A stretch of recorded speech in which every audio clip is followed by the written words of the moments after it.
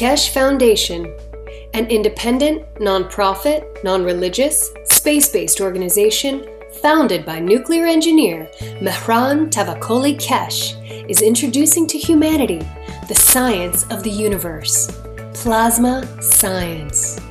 Keshe Foundation develops universal knowledge and space technologies that provide solutions to major global problems, revolutionizing agriculture, health, energy, transportation, materials, and more. The application of plasma science in the form of specially developed plasma reactors and other devices will give humanity the real freedom to travel in deep space. Plasma science exists throughout the whole universe. It is here and it belongs to you. Our knowledge, research, and development regarding the plasma structure has progressed to the point of enabling everyone to participate in the process. Become a creator and understand the work of the universe for the good of humankind on this planet as well as in space.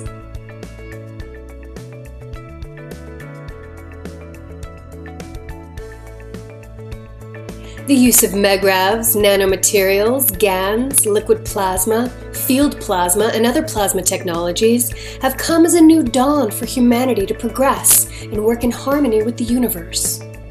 Conventional technology applications are wasteful, damaging, and cause pollution to the planet and all living beings. Plasma science provides solutions and improves existing methods and use of resources in all aspects that touch the lives of all beings. Plasma is defined by the Foundation as an entire content of fields which accumulate and create matter and is not defined by its physical characteristics like ionization or temperature. Also, with plasma science, we understand how we can convert matter back to the fields. Quoting from Mr. Keshe, Magrav stands for magnetic gravitational, which means plasma absorbs or gives. And every plasma has the both. It has give and it has take. And when they can't find the balance, they distance themselves until they find the balance they can give to the others. That they can receive what they want to receive and give further. Certain atoms and molecules release and absorb magnetic or gravitational fields. Released fields are available to be absorbed by other objects. The Keshe Foundation has developed a way to gather these free flowing fields from the environment within a resourceful and beneficial new state of transitional matter, which MT Keshe named GANs. The first step of the process of the formation of various basic types of GANs is nanocoating metals. This is carried out either chemically by etching, steam coating with sodium hydroxide, or thermally by heating, fire coating by gas burner. During either coating process, gaps between outermost layers of atoms are created. The residual coating is often referred to as nanocoating defined by the structured layers of nanomaterial, which build up during the creation process of the coating. Nano-coated metal in interaction with other various metal plates in a saltwater solution creates Magrav fields. These fields then attract available elements to form a specific GANS, which collects and settles at the bottom of the container this GANS is formed from independent energized molecules like little suns that can be used in various applications.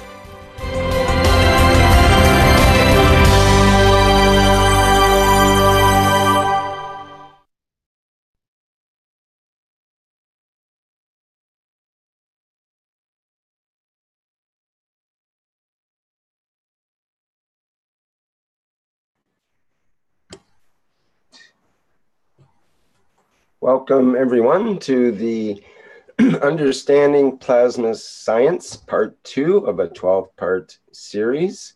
Today's topic will be health, soul, and nature. And um, we have uh, Jim McDonald as our main presenter, I believe. And I think he's ready to go there. Jim, are you ready? Yes, thank you, Flint. I'll just start sharing my screen. Thanks, Rick. Yeah, I'm substituting for Flint today, actually.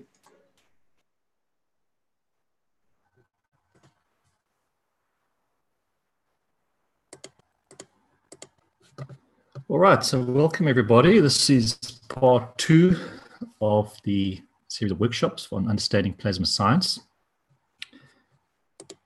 Today we'll be focusing on the next three topics, which is the health section, the soul, and the nature, which encompasses agriculture and the whole environment. Today, the health section will be given by Dr. Rodrigo, and uh, the soul part will be given by presented by Lisa, and then I will finish off with the uh, part on the environment and the nature. So I'd like to just hand over to Dr. Rodrigo, if he's there, and then he may begin his presentation.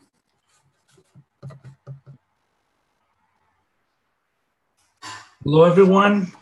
I just want to welcome to a new and the future listeners of the new teachings about plasma technology. And let me share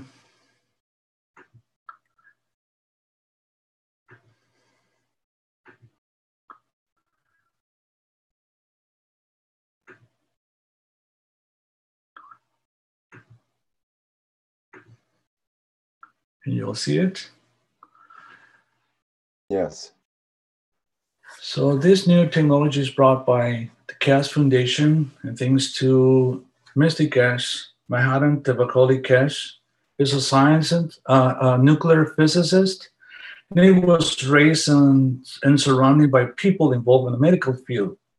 So he was able to understand the body, and not only the body, but the, wor- the world and the universe and he's dedicated his life to share all his knowledge to humanity. So we know there's a lot of information out there. For some people, it's difficult to find the principles of every of this technology. So now, thanks to Keshe Foundation and Jim McDonald, who have decided to bring this new concept or basics of every aspect of health, agriculture, transportation, everything. So you'll be able to understand and encourage you to continue with this beautiful technology. We only have one condition of this. The condition is that once you have all this information, share with you know, share all your knowledge with your family, your neighbors, your friends. That's the only way we can change the whole world. So basically, this uh, this new workshop is about health. And all this information, as I said, is going to uh, give you basics. And, but you can find all this information and more on YouTube.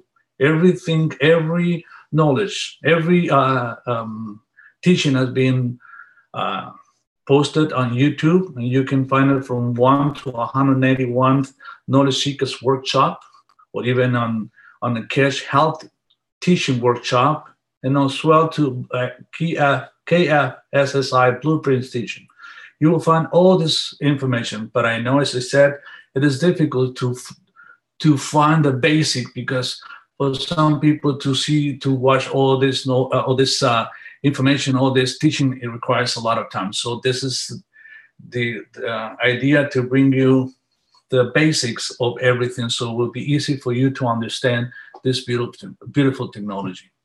And this uh, chapter, we're going to uh, understand a little bit how life is created, what plasma or GANS is, how the body works as a plasma unit, and how the body interacts with the plasma fields. Interesting. And we're going to repeat continuously a lot about this concept in the future, so you will be, to, will be able to understand all this beautiful technology. So basically, to understand how the body works uh, or form, is we have to understand in the universe we have all these elements. This periodic table we have on the right side means that all these elements exist in the whole universe, plus other other elements we still don't know. But these are in all the universe, and understand that in the whole universe, there's a magnetic gravitational field. Every single element, small, big element, has a magnetic gravitational fields. So interact in between each other. So here on Earth, specifically on Earth, we interact the, the gravitational field of Earth here and, and the sun would interact two fields when they rub each other, they create light. So yes, creates light. So what you see for a lot of people is going to be a surprise. But when you see outside on the beautiful morning, clear sky, you see that beautiful sun shining outside. Well, actually, it's not the sun; it's this light. This light, this being produced or made by the, the interaction of these two fields. And one of the uh, uh, how we can be sure that this is a light, is not the sun when you go outside in the space, you see the whole space is black. It's, it's totally black, no light. If we see, if we have a big light like this one, we're thinking that everything and every part of the universe has been light, has been uh, shining like the blue, like a, uh, a daylight, but not. Everything that interacts in this field, here inside, we see the light, but outside, of, we don't see any light if you watch any uh, those videos of uh, the astronauts working outside on the um, uh, satellite, you will see that there's no light. Not only not light, there's no no stars. So as well, there's no star. You cannot see our stars out, out here. But when you are inside Earth, the stars, like the, the sun, interacts with the field of Earth, so you can see the star. But the stars are on this level. You see the reflection of that with all the interaction of those two, this uh, uh, magnetic gravitational field of the stars with the Earth, and you see the lights, those little points, those little lights, as the stars. But outside, we don't have. But with that interaction, besides the lights, we know we are we have seen, we've heard many times through the medical field that with the sun, you only have that helps to produce or synthesize the vitamin D to help us for the light. But actually, it's a little things. Actually, what we have from the sun is these elements. As I said, all these elements are universal and universe exist. But here in the interactant brings this element carbon, oxygen, hydrogen, and nitrogen. The body not only the body is made of these elements 96% of the body is made of these elements oxygen carbon hydrogen and nitrogen 96% as well the plants are made of these elements. Animals are made of these elements. And only 3% i mean 4% of these elements are the rest. We are made of 25 elements. You have to understand 25 elements. If we bring balance with these 25 elements, that means we can manage, handle every disease we have. So it will be easier to handle, to bring balance to the body. We'll, we'll explain in the future how you create diseases, how we the body creates diseases, because you are the one who create all the diseases. We never explain in the future, but you have to understand that in order to bring balance to the body, in order to be able to change the structure of the body to bring the uh, the normal functionality of the body, you have to work with this this elements. So also you have to understand, and this is for the future. As we said, those elements exist all over the universe. So that means that every planet, not only in this uh, solar system, but everywhere in the universe, every planet that interacts with their own sun interacts with those fields and brings different elements into that planet. And they will create life in a different way, a life that will be according to the environment of this planet.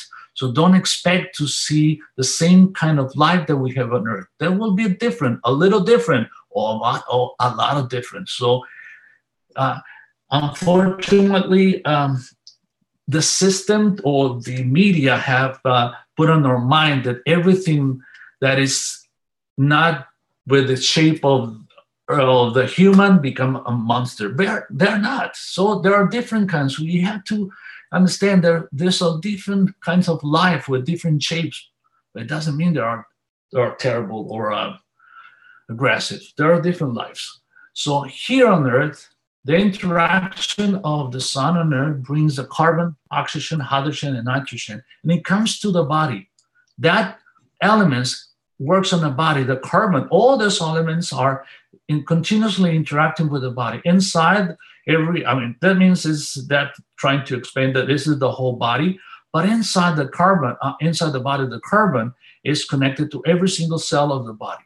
The oxygen, the oxygen is, is the one who brings elements inside the body. He is like in control of elements that comes to the body. The nitrogen are in control what the what kinds what things has to be eliminated by the body, and the hydrogen it brings the energy to the body. So that's important of these uh, elements.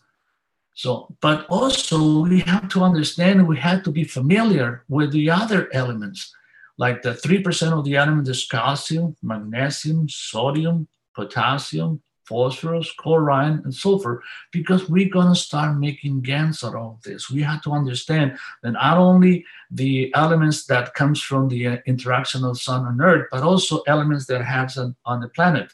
Like calcium is important for the bone formation the growing nerves, to enhance the immune system. And we're going to give you more information on how this calcium works on that. So we're going to start making GANs of this as well.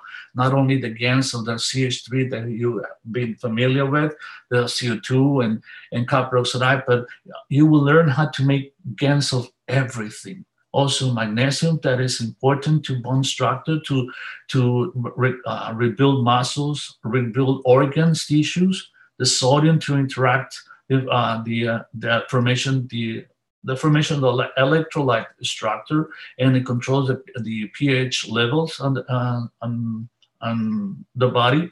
Potassium as well to help to grow nerves, electro, uh, and also works uh, on the uh, electrolyte structure. So it is important to understand all those kinds of elements. As phosphorus, chlorine, sulfur, that has a different application in the body we will learn how to make in a very easy way how to make GANs out of these elements. And the 1% of those elements is this is, oh, it is uh, just a little bit of that, but they plays an important role in the body. Like iron, we know that, that, that helps to, to build blood, but also we'll be able to build hemoglobin out of, out of the iron using the iron, using metals, using alchemy, we can be we'll be able to make uh, hemoglobin. So in the future, we won't have to make or give blood transfusion to people. We'll be able to do all this stuff with this technology. Zinc plays an important role in, on the emotions of the body. So we understand inside the body, inside the brain, we don't have blood inside the brain. This is control for certain elements, but this is zinc is one of the most important to control the emotion. And also we're going to explain uh, how this uh, elements works on your emotions and your body to, to create that we can help the body to, uh, to regenerate itself, to bring balance to the body, to get rid of, of all diseases. Copper, that is important to build muscles, cartilage, uh, and ligaments. It's important. Iodine, how you connect yourself to the soul. It's incredible. All these uh, single elements uh, plays an important role in your body, and you will understand. You will be able to make to control it, to use them instead of using those millions or, thousands of medications that have been built or made to bring to to control the the the diseases. Once we understand this, uh, to use those elements, we can bring balance to the body and make the different changes, incredible changes in the body. That is important. So, if you see any chemical formula, anyone, you will see this. You will see the carbon, you will see the hydrogen, you will see the nitrogen, everything. This is the formula of uh, chemical formula, every amino acid in the body. On the right side, when we add so that's those uh, uh, elements that comes from the uh, interaction of the sun and earth comes to the body. When we add those elements that belongs to the planet Earth, like iron, it creates hemoglobin for, for the humans, or magnesium, chlorophyll for the plants. So interacts all the elements interacts with the elements of the of the world and uh, of the world of the planet and creates different kinds of life, different kinds of interaction. So, and the combination of all these amino acids, it helps to build proteins, muscles, blood, heart, liver, lungs, and everything else that makes up for our body. So it will be easy for all you to use all these elements and bring balance to your body, get uh, make disappear every disease. Now we understand it. I, as a doctor, I've been practicing for more than 30 years, and I let me tell you, this new technology is so beautiful that will be easy, easy to handle every disease, easy to build. You will, at the end of this uh, teaching, you will be able to, to build not only elements, GANs of these elements, plasma of these elements, but also be able to build units that bring balance to your body, that we call them health units, health units, because it brings balance, it creates an environment to bring balance to your body. So you will be able to do that. You will see a different uh, prototypes, different uh, um, shapes and uh, forms of uh, this uh, health unit that will be easy to, to work with. So, but we have to understand the basic of this. On the current science, we see this kind of formula, the connections between every element like this, but actually is the on the right side. This is interaction. Every element, as, as we said, every element has a magnetic gravitational field. So everything is connected to those fields. Everything in the universe and the body, what is inside the subside, everything in the planet, everything is connected. And we're going to repeat it over and over again. We are connected through the fields of magnetic gravitational field. Every single cell in your body is connected to that field.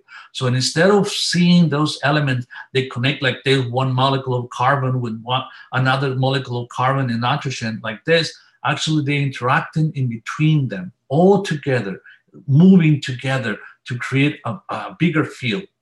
As also that you you're gonna be familiar with is this because the, those numbers that we see like here hydrogen 2 carbon 24 what does it mean so you have to be familiar like this. We see here atomic weight is 72. The interaction of all those elements, every, every molecule of all this, the weight, the, the atomic weight is 72. How do we get to that number? So it is important and you understanding how to deal with this element. Because in the future, once you understand the atomic mass, of every element, that the atomic number, you will know which one is stronger and which one is, is, uh, weaker. So you will handle those elements. Also, the uh, understanding the way they, uh, the, the strength of those elements, you will use it accordingly to change something in your body. So it's important to have this. I myself, I have the periodic table in my office, in my garage, everywhere that I work. Everywhere that I, that I work with this uh, mm, technology, I have this periodic table, periodic table with me. I have to understand how to uh, how every single element works on the body.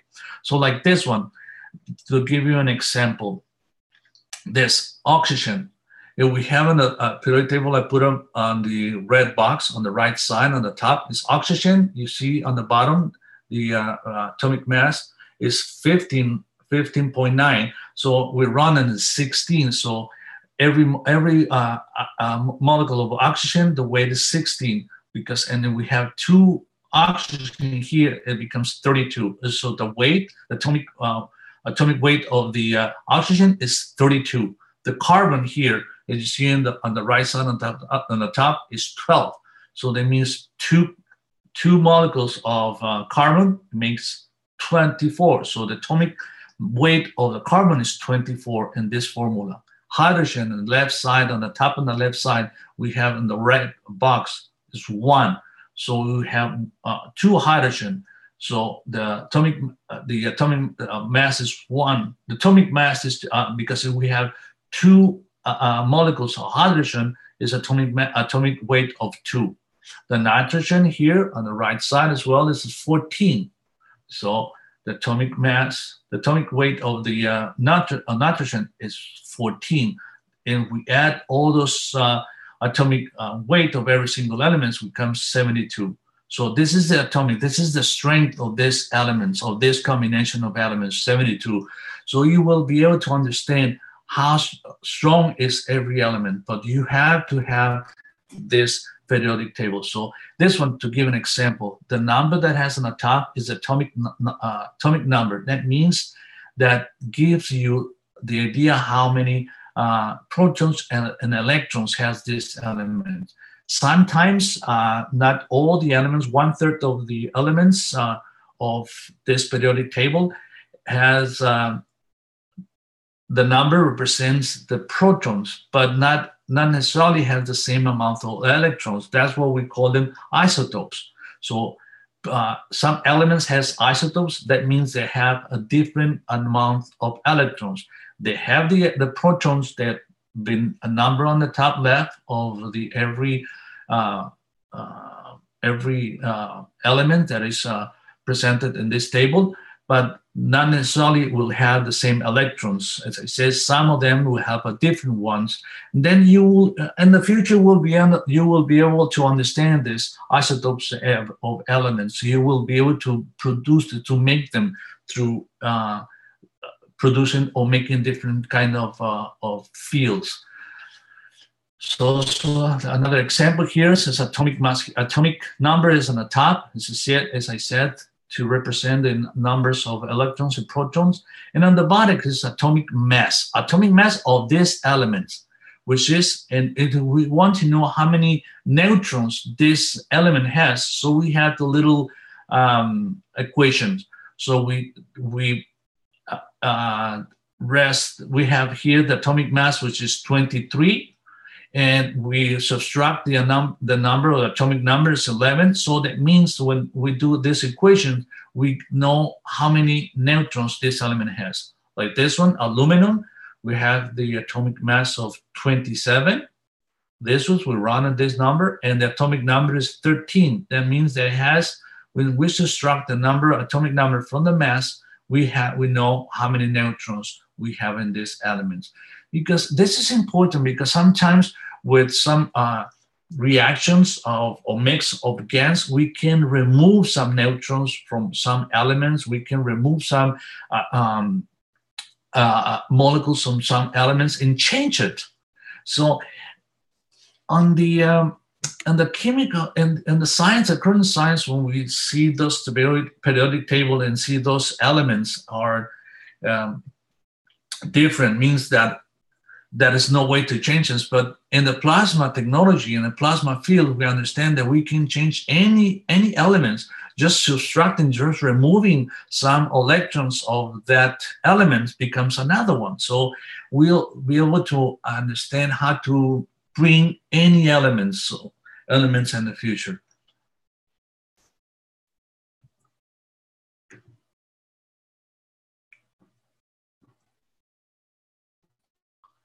So here, so this and, and the real in the plasma structures, we see this. As I said, every single element has a magnetic and gravitational field. Every single one, consistent and and all together creates a field, creates what we call a Coulomb barrier. It's a field, a magnetic or gravitational field.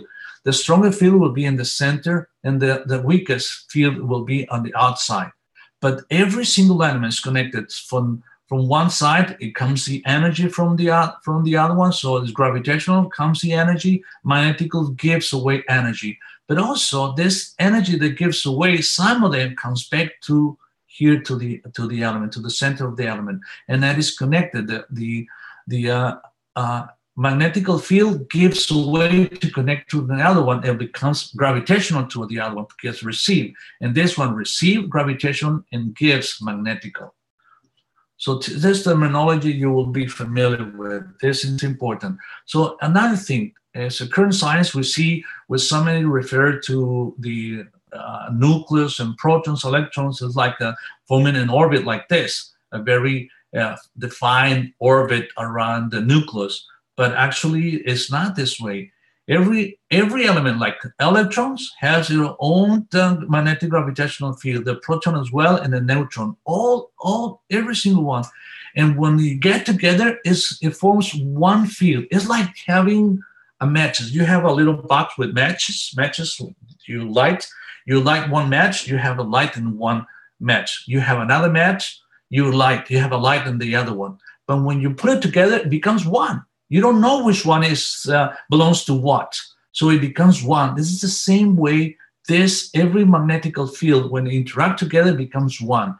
And actually in the real life is not the way we see here. And because every element like this, this one is not connected by itself related. It doesn't create this the orbit like the way it's uh, it's showing here around the nucleus. Actually, every single element, this one interacts with the nucleus, but also this part interacts with this one. This one interacts with this one, also as well. So the orbit is not as soft and round like this. It's actually is moving in the different shapes like this. All the orbits is different. It's not this one. It's so irregular. It's not, I'm sorry. I'm sorry. So the, the, the shape of that is not the way we present it in, in the regular science, in the current science. It's totally different because every element is moving to different shapes. Even the planet, the planet Earth, is doesn't go around the the uh, the Earth like a, a soft and beautiful round orbit. Actually, is very irregular. It's not up and down. It goes because this the Earth interacts not just only with the sun, but also Earth interacts with every single planet of the solar system interact with each other. That's why there's a different movements of every single one, as well as this one. So this is in the future we'll now understand, we'll you'll be able to make those gases. GANs, what does it mean, gas? GANs means gas and nano state and small particles. Nano, when, when we call about, we refer to nano, it's a small, very small particles, and this is like a, uh, uh, a solid uh, gas state. You move it, this, this, when you create this gas, it's incredible the energy. You can feel it. It's not like when when we talk about different elements like crystal, we know that the crystal have incredible uh, incredible uh, uh, things that can make to the body, but we don't feel anything when we, somebody gives us or or elements. Or oh, this is gonna give you some energy oh yes, peace and love. We don't we don't feel anything. This one, when we interact with these gases, we feel the energy. Your body feels the energy. This is you can feel it when you mix it. It becomes stronger or weaker, but you can feel the change of every single uh, uh, that you're making. It's beautiful. So the body, the body is made of millions and millions of this gravitational magnetic fields. Everywhere are this every single cell every single cell in your body is these gravitational magnetic fields. We're saying in the medical field okay every organ every single cell is connected to the to connected tissue. But what is a connected tissue? We don't know. We don't understand. It doesn't make sense. We uh, take it for granted though whatever they say that is the way it is in medicine. But it's not. Actually every single cell in the body is connected through is is connected to every single other cells through the magnetic gravitational field as well as and this is the thing that the problems with the medical field is they, they don't address that field. When we have that go back to the other one that every single one every single cell has the magnetic gravitational field and creates a field around the body. And it's incredible ways to prove that that field exists. It's not just imag- imaginary uh, thing that we, we bring brought up. It has is it is there's a lot of technology out there that prove that we have that feel around our body. There's incredible ways to prove it, and we'll do it. We have incredible, beautiful uh, examples how to uh, understand how to prove that that body, that energy body around you, your uh, that field around your body really exists, and that is where we're gonna um, work with. So we if we wanted to make any change on your body, we're gonna use that field that you have to create a different environment. So because through your body comes a lot of energy. Normally, also in, in the future, we're gonna um, um, explain how the body feed itself. 80% of the energy that the body gets is is through the skin and what you breathe, and 20% through the food you eat. So that feel, that energy, it comes to your skin is receiving energy constantly, all the time. 80% of the en- energy that your body needs in order to survive comes through your skin. So if the energy comes through your skin, imagine how can we do? What can we do? It's a lot of fields that we can work with. It's a, a beautiful field that now we can work with. So to create that field if we, you need something you need a medication you need something whatever elements to bring balance to your body we took advantage of that field. Put another kind of field uh, uh, around that field. So it comes to your skin through your skin to your body and make those changes. We don't need in the future, we don't need to take any pills and injections, any tablets, any capsules. We don't need to do that. We can make the create plasma of every element that we need. Even here in the future uh, teachings, we'll teach you how to make plasma out of your medications. So you don't have to buy any more medications, any more pills. You whatever you have, you're gonna change it on plasma. We'll teach you how to make plasma out of those medications and use it, just the energy plasma, and it will last forever. You don't have to buy any new pills in the future. You create a plasma, the GANs, those GANs, the photo you see, the zinc GANs, and when you make GANs of medications, it will last forever for many, many, many, many years. So you don't have to buy new medications in the future and just put it around the field and it will have the same effect, exactly the same effect. Every organ, every single organ, as I said, have magnetic gravitational field. Our body is made of various GANs.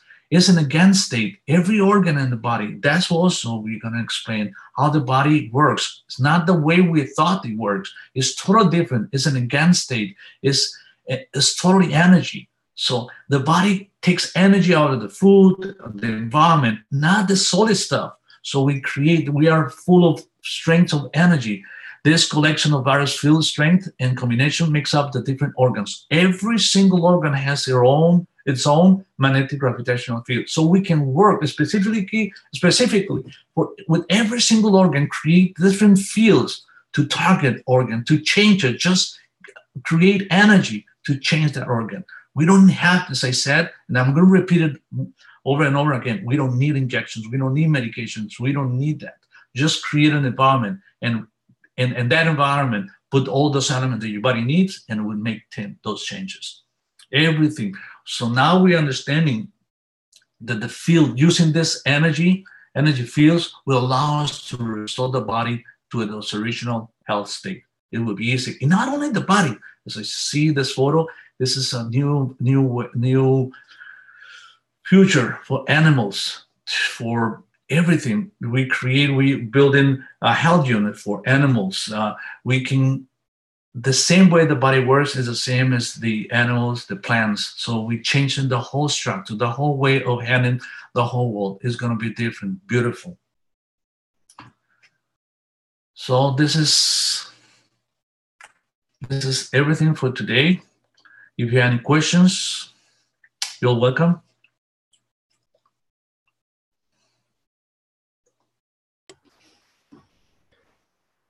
Please remember, everybody, to keep the questions specific to what Dr. Rodrigo has presented today. Thank you.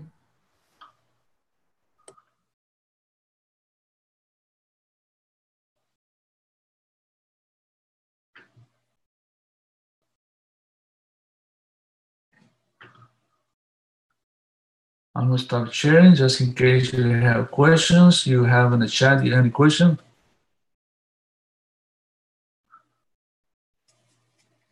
Well, I have the chance. Love you. We love you. Thank you. I love you too.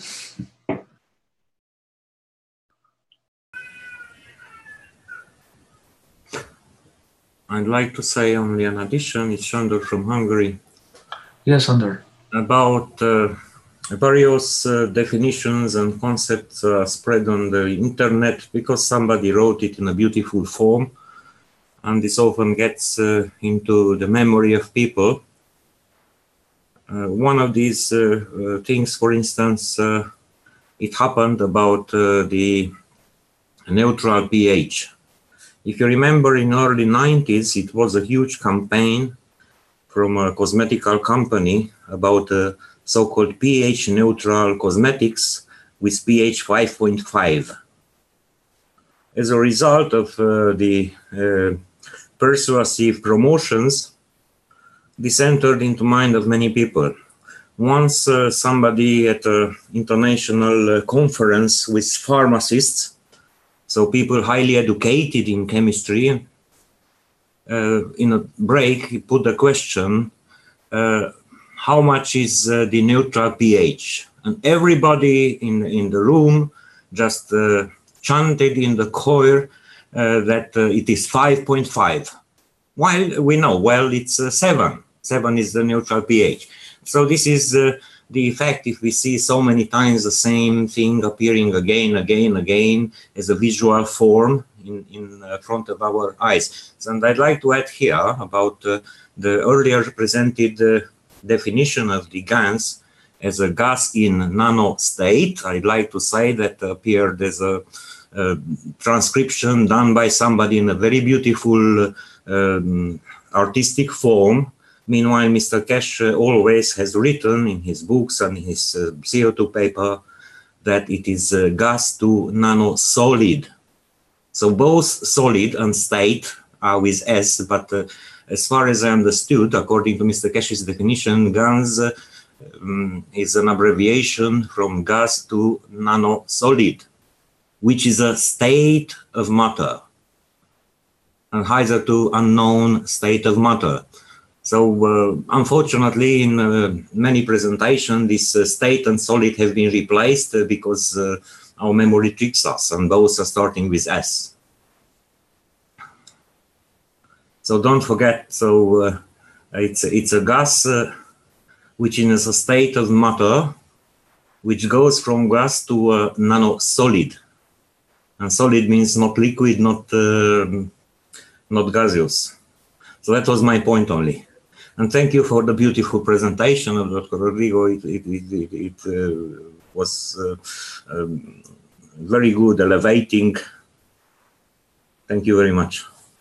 Thank you so much, uh, Sandor, for your observation. And I already changed that that uh, S instead of state, solid. Thank you so much for your information. You are welcome. I, I know the effects on a long time. Uh, for instance, uh, about uh, uh the creation of uh, uh, CH3 GANs.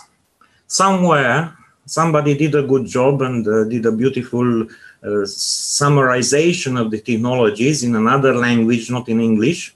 And due to some words lost in translation, um, it reached uh, to a recipe where we use for making uh, CH3 gas by uh, placing in a box with salt water a nano-coated copper plate, which is connected together with a iron plate, which is not good because if we use an iron plate, we get mainly iron oxides.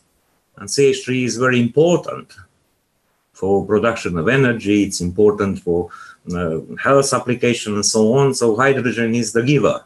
If we have iron oxide, we have no hydrogen in that gas. And the original was a zinc-coated uh, iron, zinc-plated iron. The presence of both zinc and iron are needed. And if it was lost, uh, the zinc uh, coating was lost uh, in translation, uh, that information was reproduced in tens of thousands of samples so many people went on, on, on a wrong way because uh, they easily, easier accepted uh, the beautifully uh, aesthetically presented information than to look at uh, the original one. If you look, go back uh, to YouTube channel Spaceship Institute, which functioned in 2014, where you see several boxes of uh, GANs where knowledge seekers made them according to instruction of Mr. Keshe, and there you see zinc coated uh, iron and not uh, bare iron. So it's very good we go back sometimes to the basics and uh, to do such a little corrections. Otherwise, uh, uh, it will become at random that somebody will obtain, uh, some people will obtain very good results and other will obtain random results. So I posted, uh, so we can also view uh, site. They listen to that, so now they can see it. It's a gas, not a solid. Great, thanks for the correction. Thank you, Sandor. I appreciate. It.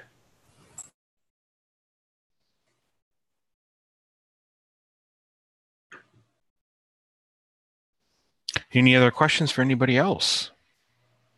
You can always raise your hand.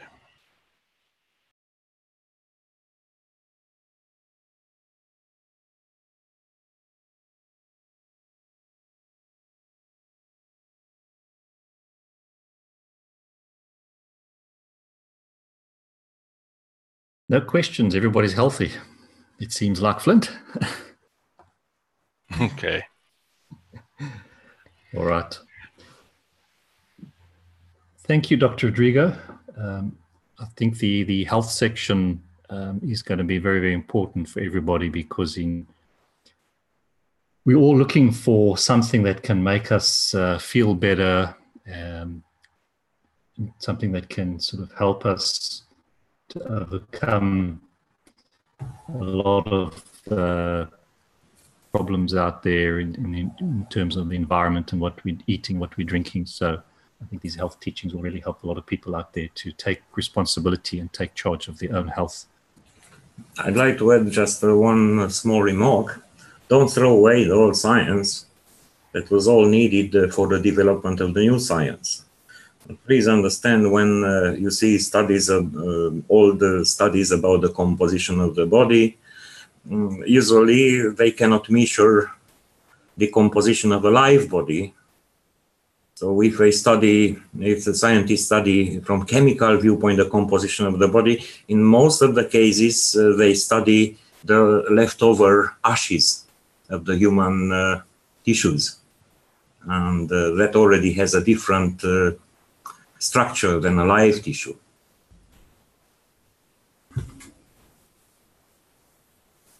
We have a couple of questions here that came up in uh, YouTube.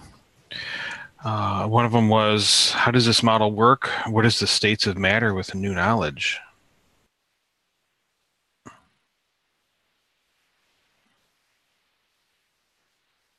Is that a health question? I think he was asking about uh, the, Ganses. And another question for the same person was uh, what does gas and nano solid mean? If they could explain that a little bit more. We went over that last, so if they can watch the first part, that last week, they can watch, get an understanding on that one.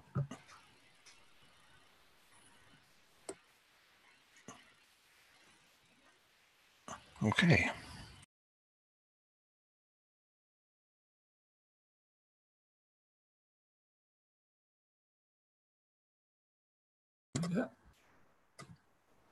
Um, hi, everybody. We're going to go a bit onto the soul now um, because we have um, discussed some of how the body works.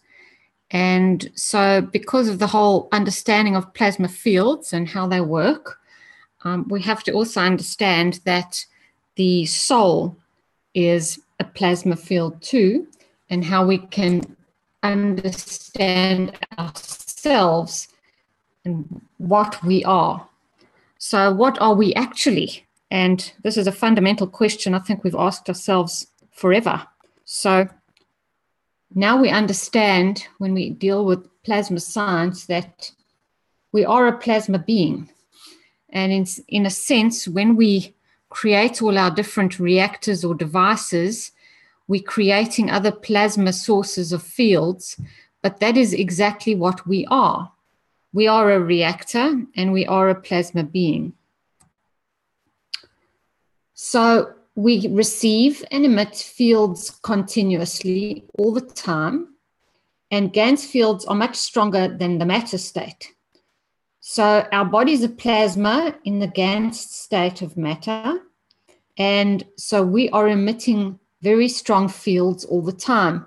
The issue is that we don't see these fields because they are not specifically tuned to our, um, our amino acid structure of our eyes. So these fields are not something we see, but often something that we feel. Uh, and this is where literally when you walk into a room or you meet somebody, you you feel you feel them. And um, those are the fields we're talking about. So if we absorb and emit plasma fields continuously, um, we have to start understanding what we're doing with these plasma fields, what we're absorbing and what we're admit, um, emitting, and, and how this all works. And this science, in a sense, starts to allow us to understand how our souls operate, how we operate in our physical bodies, and how we need to continue to operate in a better way in the future. Because now, if we can understand who and what we are, we'll be able to um, find out what we're here to do and how we need to do it in a successful way. So I'm sure a lot of you have seen this picture about the, the field structure. And Mr. Keshe always likes to draw a wound up spring when he draws a plasma. And in essence, every plasma is like this wound up spring. So this is including the body. And what it does is it has a strong primal field right at the center that very, very tightly wound, strong field in the center, and that is our soul. And when we look at the outer edges of the field where the sprung has unwound, it shows itself as a physical entity or the manifestation of that soul, and that is the body. And all the fields in between, which are things like emotions and thoughts and whatever else goes through your head is connected to the emotion and is those fields in between. So if we look at it a slightly different way, um, you can unpack this spring by looking at the tightly wound center, which is the principal field, which is our soul. And the physical body is the outside edge and the matter state, which we've manifested. And there is a transition matter in between, which that transition matter are things like our emotions, our memories, and our thoughts. And when we look at that transition matter, that is what often will um, make up the reason why certain of our body becomes diseased or how we react to life in general. But the physical body really is just a manifestation of the soul on this planet. So it is really quite, um, it, it, it is um, completely due to the conditions on this planet as to how we manifest ourselves. So I just want to re- reiterate this with this picture again because it's important that the soul is the primal central field and the out unwound bits is the manifestation of our body and the fields in between are connected to the emotion. But on this chart you'll see that right at the end there's matter there. Our bodies are not matter. Our, our bodies are, are, are ganses and ganses are, are much more energetic and loose and are a much stronger type of a field than matter itself, like a table or a chair. So we have to ask ourselves the biggest question of all where is our soul? And Mr. Keshe has explained this to us, and we're now going to be able to literally find it and plot it and see the fields of it. So the soul sits in the center of the brain and it is a non-physical principle field. And when we look at our, our brain, the emotions are always um, manifested in the center inner layers of the brain and the physical attributes of how the body works and how it's everything is connected is always on the outer layers of the brain so this shows you that that that um, wound up spring that we had a looked at had a look at works exactly with the same principle. So now we start understanding that everything is connected and our soul is the principle. And if you can see here on this uh, X-ray, we'll see on, on both the horizontal and vertical axes, you can see that tiny little gap right in the center because our souls are not physical. Our souls are um, a very strong field, which is not in the physical dimension. And so there is the little gap that houses our soul. Um, and our emotion is our filter between our soul and our physical body. So our soul is right at the center and is the source.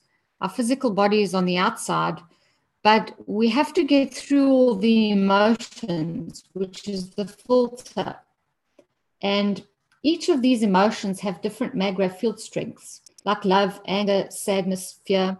All of these things have different field strengths, but even so far as they have different field strength for you or for me. Maybe my feelings of love are different to your feelings of love. Maybe anger is different for me because I don't get cross when you do something, but somebody else might.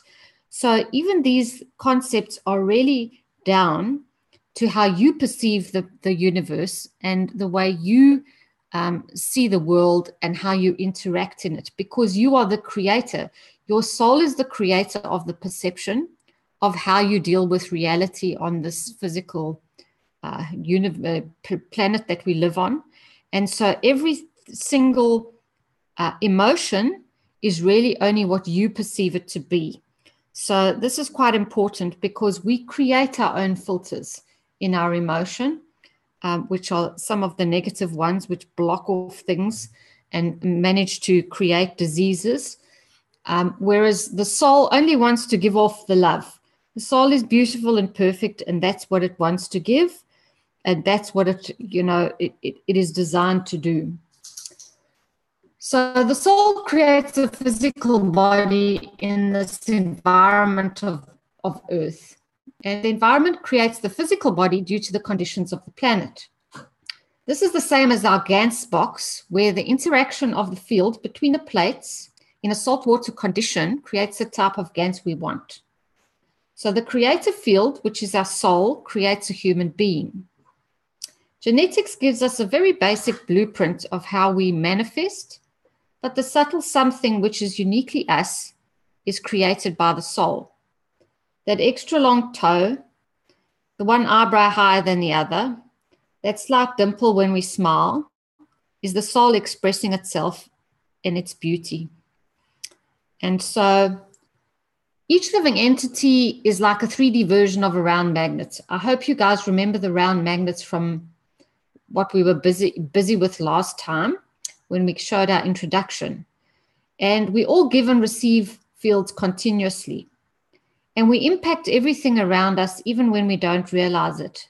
So every single uh, person that comes close to you, moves away from you, every being, every animal, every creature um, we are we are giving and receiving fields to each and every one of us constantly and so we have to start understanding what are we doing to all the beings around us?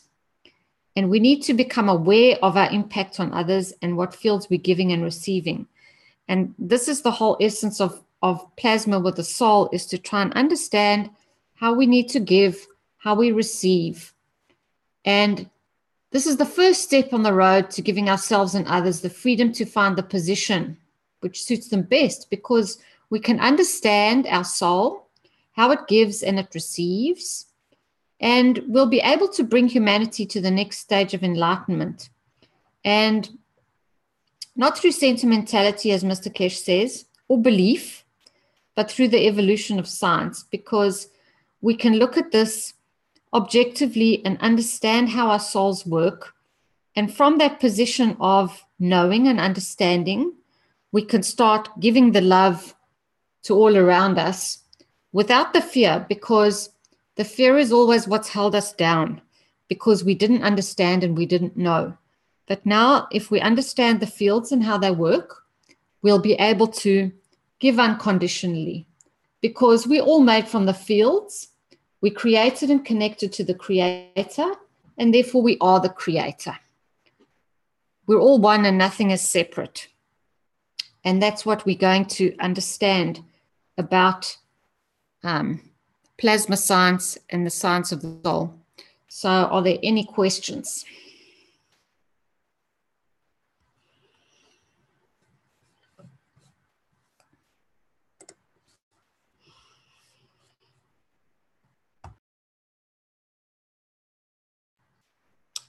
Did I put everybody to sleep? Just waiting for people to speak up. That's all. You always have to wind down and wait for somebody to take a breath and push the unmute button.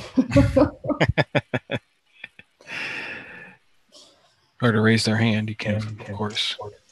We have a, excuse me, get my microphone on and live stream. Uh, we have a question on the live stream from George.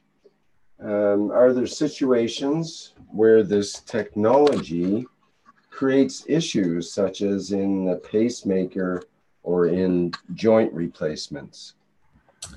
Ah, that's a Rodrigo question. Is he still there? yes, can you uh, repeat it, please? Okay. Um, George says, are there situations where this technology creates issues such as with pacemakers or joint replacements?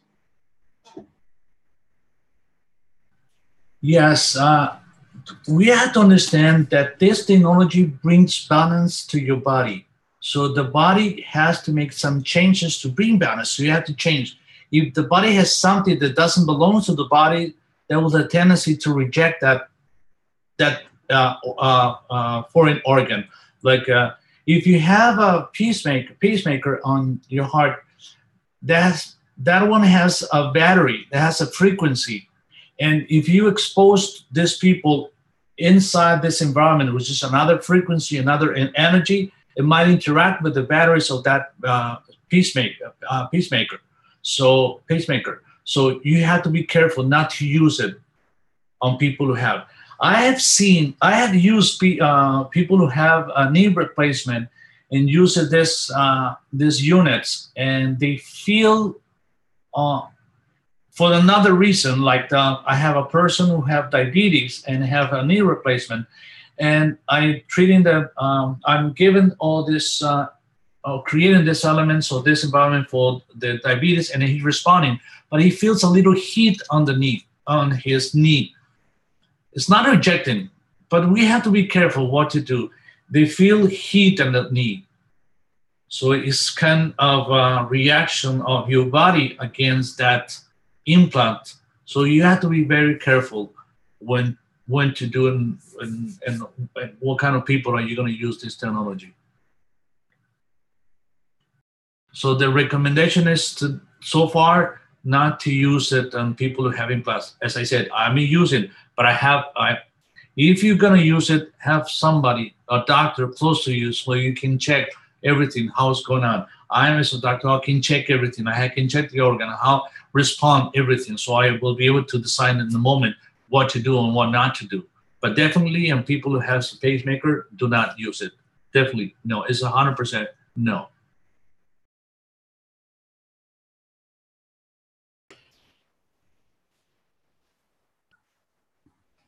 Uh, any other questions about soul?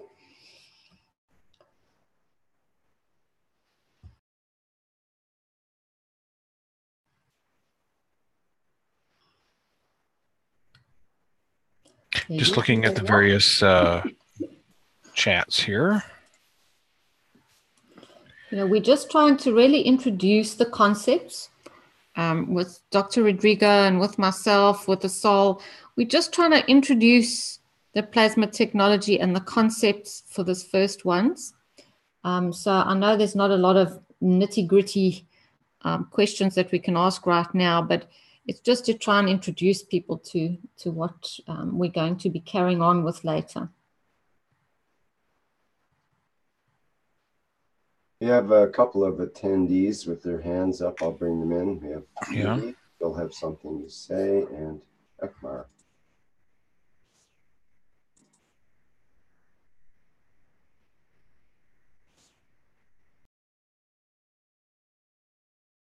Hello, this is Ekma from Germany. Uh, this is a soul question. Um, on your foil, where you showed us the soul and uh, the emotions and the body, uh, the soul was in the center. Um, yeah, um, it, it is not uh, uh, like a full stop uh, it, it's not uh, one color. So my question is, does the soul have a center? because we have learned that uh, everything is uh, the same and uh, uh very small and very big and everything. So um, my question is, when I saw your picture, does the soul have a center or not? Um, I suggest, Ikmar, that we're going to start understanding that the soul has layers too, um, just like the body has layers. And as we go deeper and deeper into this, uh, we're going to get deeper and deeper into the knowledge of the Creator. And so at this stage, I don't know. I'm sure the center of the soul is literally the fields of the Creator itself and that's why we are the creator um, you know and and there's layers um, as we're going out towards the outside just like there's layers towards the, the physical but that's just my my my knowledge at the moment and my feeling is how we're going to progress with this but i, I don't know particularly just yet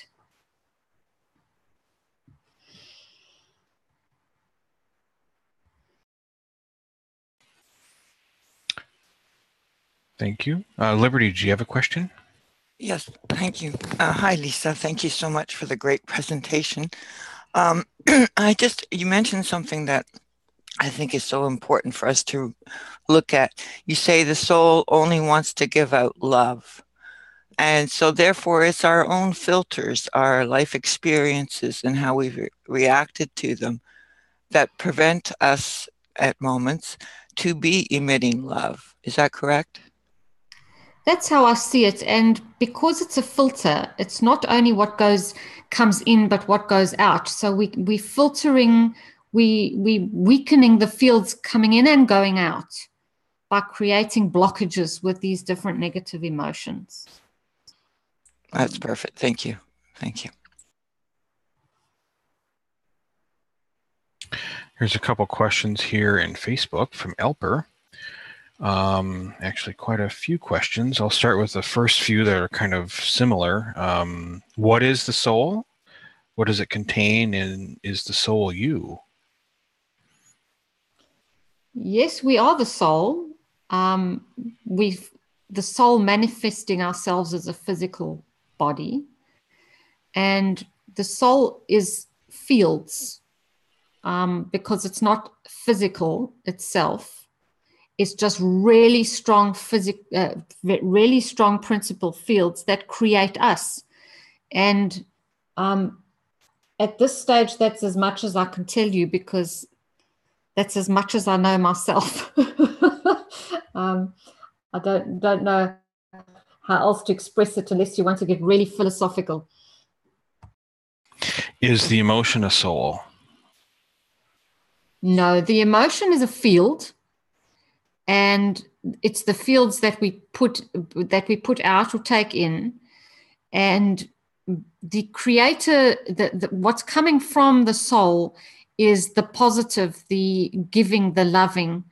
Um, but because things happen to us when we in our physical reality and uh, we become you know it's it's our history. As dr rodrigo said to us today in one of our meetings it's it's it's the the emotions come from our history. So it's the past and it creates layers over us that um, that define us but then also um, you know create filters so that we're not living life as we could if that emotion was not there that negative whatever blockage is is not there we could be living such a different life so the, the emotion is just a field and it if they are negative emotions they are literally blockages uh, on the filter of what our soul is projecting as our physical body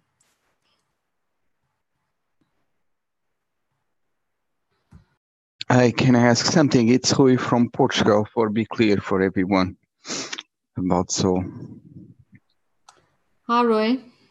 Hi. Uh, can we say that the soul it's the intent of is the creator it's the intent of the creation uh, uh, and use the emotion to manifest the physicality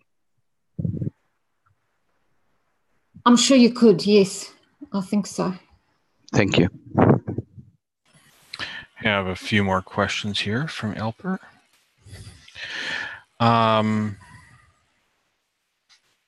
how come the soul is attached to the body and how? Well, it manifested the body. Um, you know, it on on creation of the soul in the womb, literally as the egg and the sperm come together and create enough fields to to to pull in that that strong soul strength, then the soul is what literally creates our physical body. So although there's genetic material there, our soul creates us. So at the at this point on this planet, yes, we're attached to our physical body, just as our just as a neutron um, has a central strong field nucleus um, in its center, so we are that.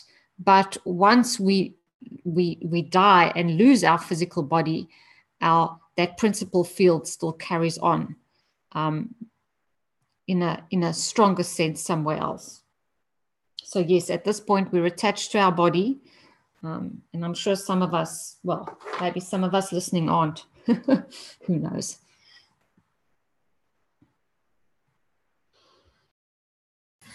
Okay, continues to ask uh, some more questions here. How come my soul is not telling me to stop doing what is maybe wrong? What is the true language between the soul so that you can get at what they're saying? And how do we know what the soul wants and what it's telling us? What is the bridge of the language? The soul speaks very quietly, and we all know what it says. It's just often we choose not to listen to it because everything else from the physical comes in really loud and t- tries to drown it out. But that, that little intuitive voice that tells you the difference between right and wrong, the difference between, oh, now I'm shouting at my child today, but actually I shouldn't be doing that because I'm being really nasty. That's your soul talking. Um, you know, some people call it conscience some, you know, many people have different words for it, but it's your soul talking. It's just often we don't choose to listen. And also, again, a product of where we come from, how we brought up, and our history. Um, puts those layers, those emotional layers in place so that we often don't listen.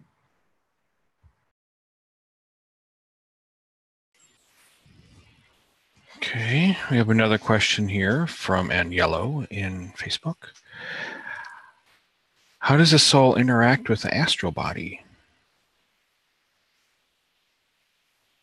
Yeah, unfortunately, definitions like astral body are ones that I don't use because I'm working def- uh, definitely from a, a plasma perspective.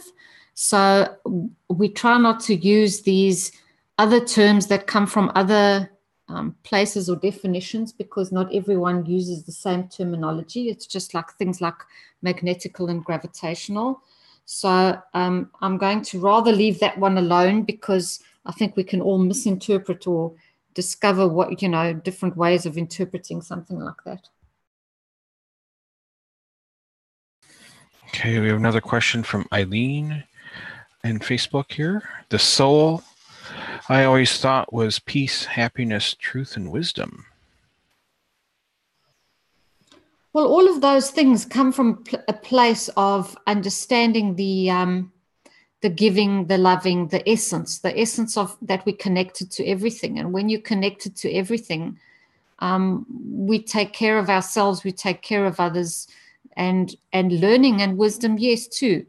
The wisdom to know the difference between, I suppose, right and wrong. So all of these things, yes, are positive traits, and that's all, all of those things are our soul.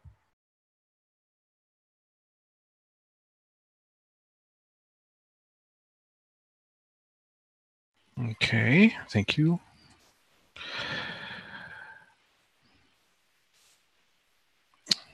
Alper again asks, is intuition the leader? Can we at least say that? Is intuition a leader? Yeah. Um, well, it should be. Not a very loud one, but it should be. You know, it's how we listen to it that counts.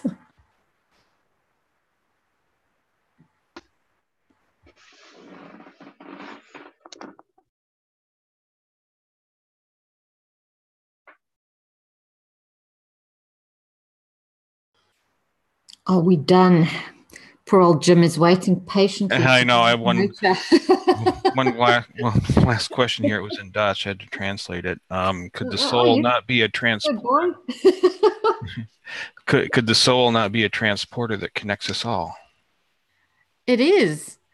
I don't know about transporter, but it definitely connects us all. It's it's as the quantum physicists say, you know, um, everything in quantum is connected you know if it just touches it just touches it's always connected. But if we always were part of of source then everything is connected to everything else. And so we're all part of each other. And um, literally that's why we have to love each other and look after each other because you know anything you do you're doing to yourself. It's um it's sort of self-explanatory when you get down to that level Hi, Lisa. I have a question. who's who's this? This is Boniface from uh, California. Uh, can you hear me? Yes. Okay. Uh, thanks for your presentation. And uh, I suspect uh, my question probably has to do with uh, a later discussion? I don't know. That's what I'm asking. But uh, the subject of elevation of the soul uh, didn't come up. Uh, is it correct that that's something that is going to come up later? Yeah, we just wanted to introduce the, the, you know where the soul sits and and how it works, and it's the principle of everything. And then as we'll go through, we'll we'll just just you know describe different ways of of soul operation, and then how we can how we can operate our soul to elevate. Yes. Okay. Thank you. Thank you.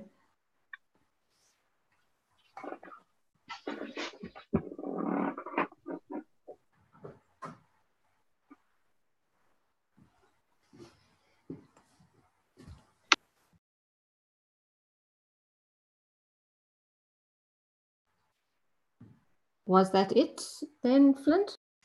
I believe so for now.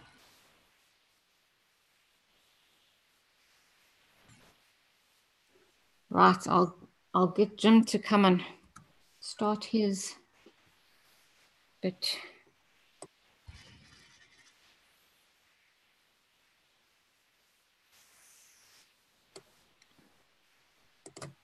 Right. Now we're back to Earth, nature, where we live. So here again, we'll just be doing a lot of introductory concepts, and then um, in the later workshops, we'll go into a lot more more detail and understanding. So our environment today, we look at it around us. We, as the people living in the environment, and, and our scientists, we treat the plants and the soils as a chemical process. Uh, they look at how each element affects the plant, what it does mechanically. We have been taught uh, what fertilizers to use, what chemicals to spray, and what bugs to kill. Um, the focus on, on when we look at agriculture, it's all about the yield, how much, how much tons of crop can I get off my acre of land, and but it has nothing to do about the well-being of the plant, the nutritional value of the plant, how these fertilizers are destroying the biology in the soil, and the overall impact on our environment in which we're living. So, our current understanding of the plants, the soils, and fertilizers we use is about to change forever because we've only ever been told half the story. And the the plasma science is, is here to sort of tell the other half of the story and almost an extension of the story that we have learned so far.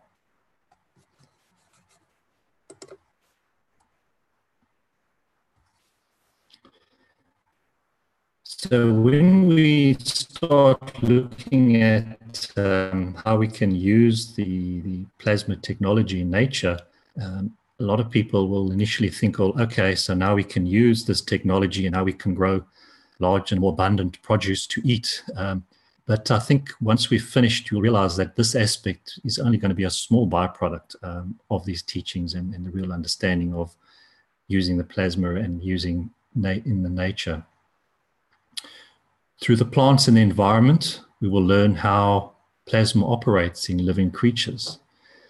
And all of these processes can then teach us how the universe works because how the plants operate, how the soils the trees, the environment operates is just a small fractal of how the universe works. So if we start observing everything around us, we will be begin to understand how the bigger universe works. The field interactions between all of these different entities creates the soup of fields in which we live. Understanding this will allow us to create environments for all living things that support and nurture us all. And by understanding this science, we will learn how to restore nature and interact with the plants and animals in a very different way.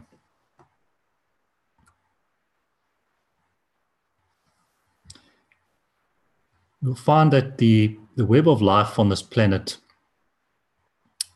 is connected on many levels.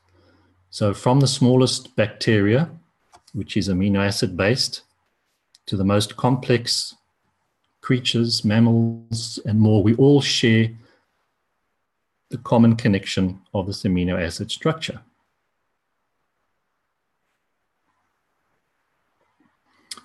And as Dr. Rodrigo introduced in the health section, um, the amino acid, basic amino acid structure is is consists of your carbons, oxygens, hydrogens, and nitrogens.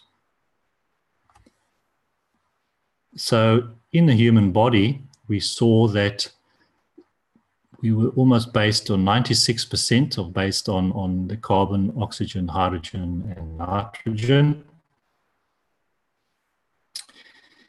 When we look the same at the plants, we find that they are almost also around 96% based on oxygen, carbon, hydrogen, and nitrogen.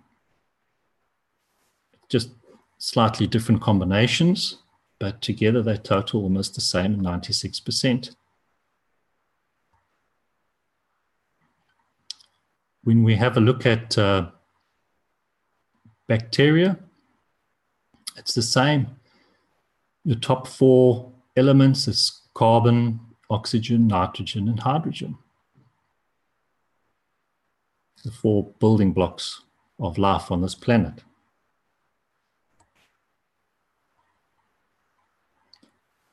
So when we come back to this picture again, we can see that all life on this planet is made from the same basic amino acid structure. So it doesn't matter whether we're a human being, a fish, a tree, a bacteria, mushroom, we're all based on the same amino acid structure.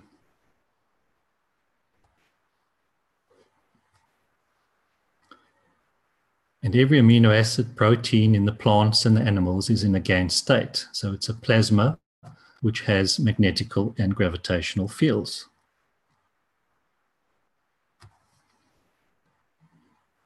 And we learned in the health section early on today that our body is made of billions of, of ganses forming the total plasma of the body.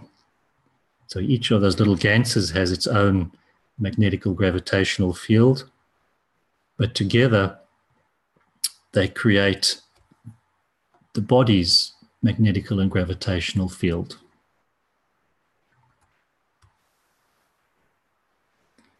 And now we can start saying the same thing for the plants, because the plants are also made of billions of ganses forming the total plasma of the plant. And that the plants themselves have magnetical and gravitational fields. And here we'll discover later on that the different types of plants will have different magnetical gravitational fields as well. So at the end of the day, we can say that humans, animals, plants, we all made of the same building blocks.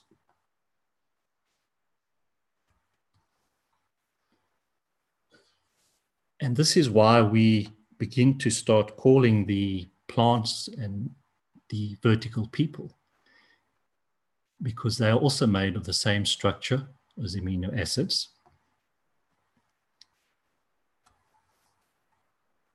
Plants, being the vertical people, are also sentient beings.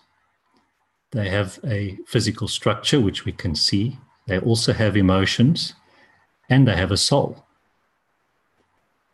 Many experiments have been done around the world which show how plants react to our thoughts and our actions. But all this has been always been labeled woo-woo science. You know, some of the experiment, for example, is um, you would take two plots of land uh, next to each other and you would ask one group of people to come and give those plants attention and water and just give them you know loving thoughts. And then the other part very next door, uh, you ask some people to come there and give hate um, and just disgust for the plants. And you'll see the difference in the growth. The growth where the plants have had the attention, have the loving attention from us, are growing beautifully, whereas the, the plot next door, which has had the negative emotions, no attention at all, um, those plants do not grow very well.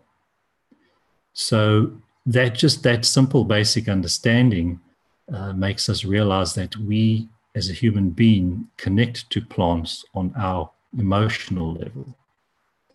And plants react to us on emotional level.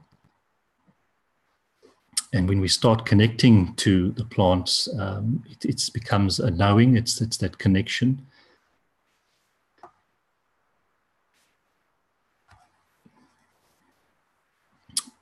The plants themselves have a connection with each other through the amino acid structure, as they're all created from the same source on this planet.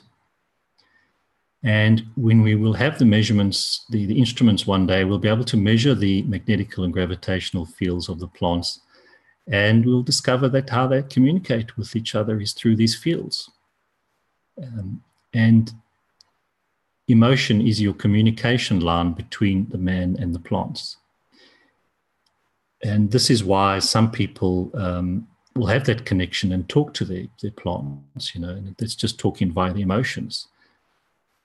And it's the same when um, you'll see people and uh, some will call sort of have a green thumb because whatever they do in their garden, it's, it's always beautiful um, because they are always interacting with their plants giving their plants uh, love and attention, whereas other people, that just doesn't happen because they just don't have that connection with their, with their plants. And it all comes down to our emotional connection that we have with the plants around us.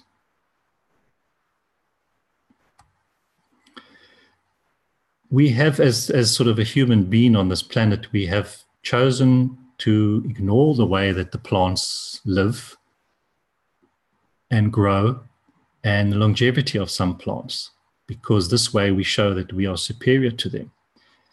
You know, the plants, they are in a different uh, time scale to us because you look at a lettuce plant will have sort of an 8 to 12 week cycle, whereas in you'll get some trees that are, are a thousand years old, some trees that are 100 years old. So they're living in a different time scale to us and they move in a different time scale to us you know to us the plants and nature around us doesn't move much but they're all moving but it's in a different time scale that we just don't see. And the plants have been on this planet long before man and animals and they've structured themselves into society where they can guarantee their survival. Because when one has a look at there's about 1500 types of animals on this planet, but there's hundreds of thousands of different plant types on this planet. And they're all just different living beings, different creatures that have able that have chosen where they would like to live on this planet in the different conditions which suit them.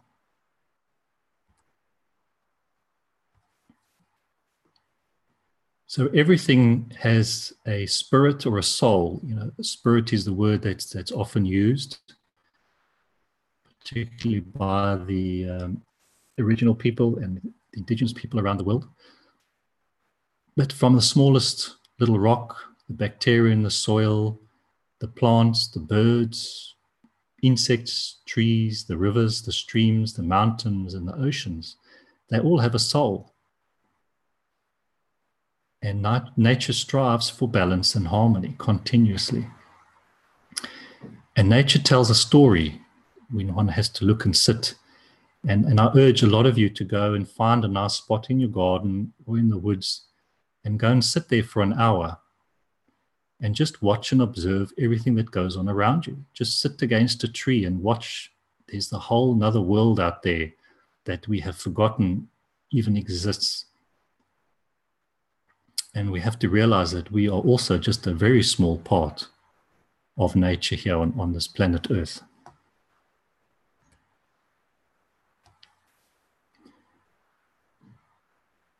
And because we, we understand that we're all connected so when we start destroying anything in nature, we are essentially destroying a part of ourselves because everything is connected, nothing is separate. This new understanding of the world around us through this plasmic technology is going to change the way that we see and perceive everything. Um, it will give us a new understanding of what is out there and if we're wanting to start communicating with um, other beings or creatures from different parts of this universe, I suggest we start right here in our own backyard first and learn to communicate with nature itself around us. Because it's just waiting to say hello and we'd like to learn from you. And nature is going to be a very great teacher for all of us in understanding this, this science because we can go outside and see how it's operating there right in front of us all the time. Um, with the technology, we'll learn, understand with the way the plants work and how our body works and how nature works. It's it's operating from that point of view of, of the science of the plasma. So, in summary of, of today's workshop, we've understood from the health section that we all made from the basic amino acid structure, and that as the human body, you are a plasma reactor, and your soul creates the physical body on this environment of the earth. And so, all creatures on this earth are also made of those same amino acid connections we all come from the same source. And so all creatures on this planet have a soul as well.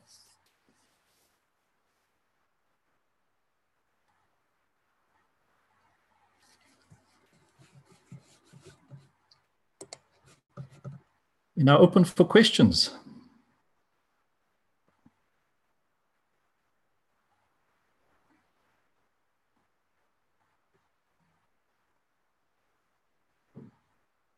Any of our panelists have a question?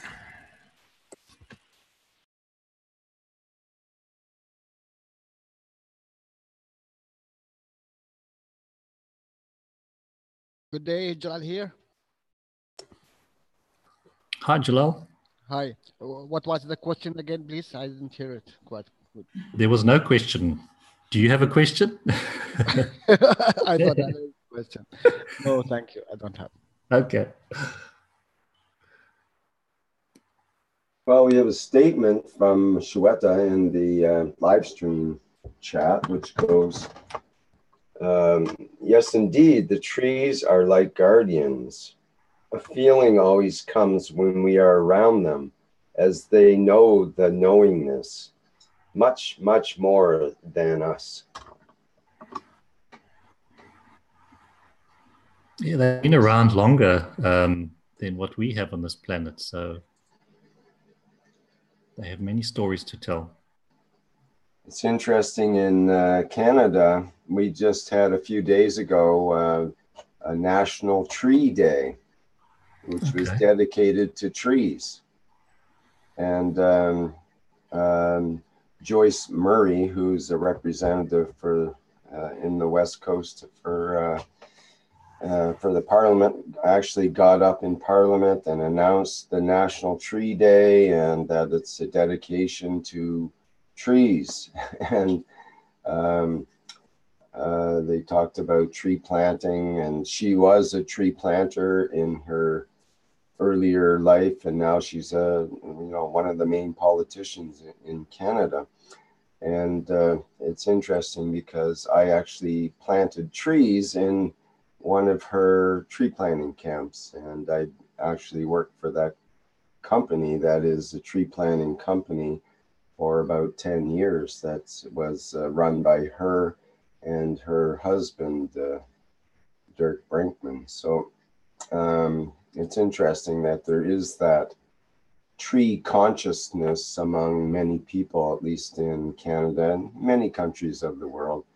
People, um, I, I, understand they just planted several million trees in India, I believe it was. They had a, a huge project where they got um, tens or even, I think it was hundreds of thousands of volunteers. I believe they planted tens of millions of trees, something like that.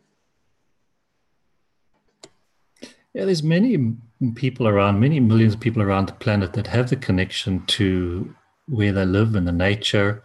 You know, it's it's just now that we, you know, we've always sort of sort of labeled the, the sort of the people as a bit uh, out there but now we can begin to understand that it, it, comes down to the science, and if we can understand the science, then we know that there that um, what these people have been talking about for all these all this time is is true. Um, so it, it does open up a whole new perspective for for a lot of us.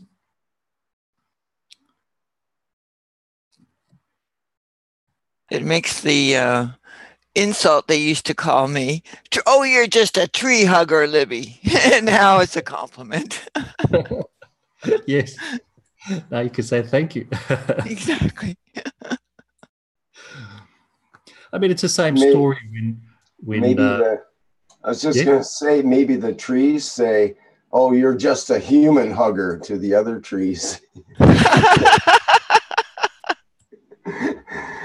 Don't yeah. be a human hugger. Stay with us, you know. I wonder what they do say sometimes. Uh, not very pleasant, I'm sure. but we do have a, a, symbiotic relationship with the with the plants and all things around us. So I am sure that in on a basic level, uh, when we connect with our fields that uh, we both feel good. Yes. Yeah, we'll learn later on how a bit more, go into a bit more detail in, in the whole connection that, we have. And um, I think if we listen to Thursday's uh, teaching from Mr. Keshe, he's going to go into a bit more on, on the soul details of, of the plant, which is going to be very, very fascinating that we are changing the school of thought. Yes, and it's hard to change our thoughts. Um, it's hard to to to understand and accept that uh, all these creatures around us um, have a soul, they have emotion, um, because I think we tend to rather want to ignore those facts because then it makes it easier for us but uh, we have to come to terms with it, and it is going to be very, very difficult for for all of us to come to terms. That, that brings us to Wolfgang's question here in the live stream chat. It says, so if we destroy other souls by eating food, we destroy ourselves? And how can this be changed by thanking or similar emotions until we don't need to eat anymore? It's going to be a process um, to get to the point where, yes, we won't be eating, but you know, everything is, has to be done step by step, and it's a stage. And the first step, I think, uh, for us, for me, and a lot of people, is to understand this first and come to terms with it before you can move on and move beyond it. Well, I think there's already those that uh, that have come across that kind of emotional contact and said to themselves that I'm not going to eat this anymore because Yes. there's too much of a connection. But then you get to the other side of I really like that, but I know I can't and I will not. Um, what do I have in replacement? Because that is going to be the the biggest hurdle for us is our addiction of putting something in our mouth to eat it. Um, when we all we need is and all we're looking for is the fields of the thing that we're eating. So if we're able to to supplement that, we will have to in a way to be able to overcome our addiction. I'm going to call it. Yeah, we understand. I mean, the food that we eat is just provides the body with energy. That's the simple and purest form. And but we have to understand that yes, we will be able to start replacing that that uh, energy, and that also the food is is a is an emotional attachment for a lot of us. You know, because we'll sit around a table together as a family and eat food. Uh, people eat food as a comfort um, so it's more of an emotional factor than anything else, and one has to we'll have to overcome that emotional factor. I think we also have to look at the fact that, um, you know, when we get to understand this technology and the connection we have with everything, it's going to have to get to the point where we don't eat because, you know, one one man's pet dog is another man's food in China, and um, you know, it's just because there's a closer connection that people find it abhorrent to eat that. But when we end up with a very close connection to plants, um, which we're going to, um, it, it, it would be just as abhorrent to eat your, your plant friends. And so the, the sort of um, glee with which a lot of vegetarians try to poke fun at people who eat meat is it's just another you know point on the scale of of of you know which friends do you eat and which friends don't you eat? So it's you know uh, there's no moral superiority at all anymore either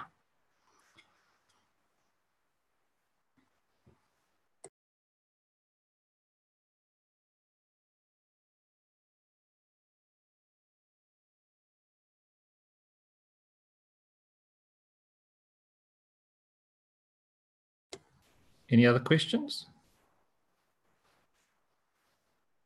I have no question, but I'd like to share a photo made by myself. Mm, sure. So uh, no copyright issues. There is a, a hand raised by Ree. Uh, did he have something more to, to ask or a question before we move to that, Sandor? Okay, this was related to something previous, so maybe it will become uh, not actual. Uh, Peter has his hand up too here. I'll bring him in. If you allow me just uh, 20 seconds. Yeah, go for it, Sandor.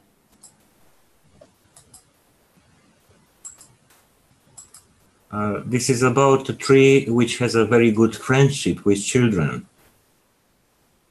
Uh, in Budapest, we have the Margaret Island on Danube, and there is a very old platan tree. This photo was made in March.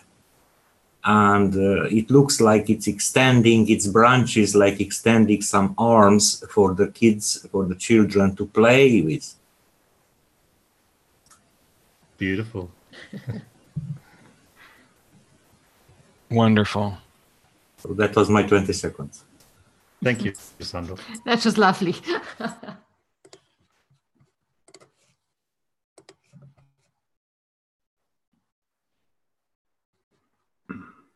There were those questions there? Or- Yes, this is Peter. yes, Peter. And I, I had a question in regards to the different aspects of emotion that was brought up. Um, the first part was during the um, presentation on the soul. The emotions were um, spoken of as being an aspect of the past that was blocking us in certain ways from um, expressing our full potential, if I put it in my own language.